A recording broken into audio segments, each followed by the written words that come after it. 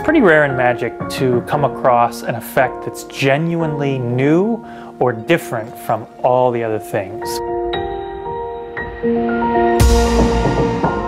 Balance allows you to take five examinable objects and stack them in a way that first seems very skillful, but then becomes completely impossible. It's an intersection of magic and art because what you create is a sculpture. It's something that people want to see.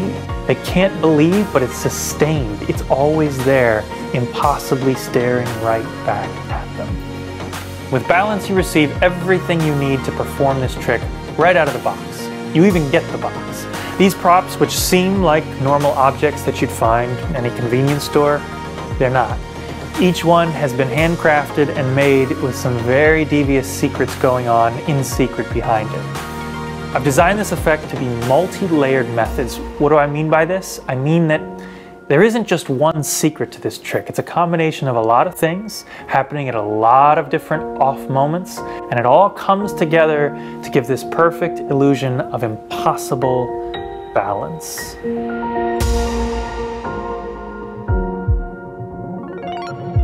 Balance began nine years ago when I received a real letter from a real prisoner serving a life sentence who told me that he couldn't really do magic on the inside unless he used props that were allowed in a prison cell.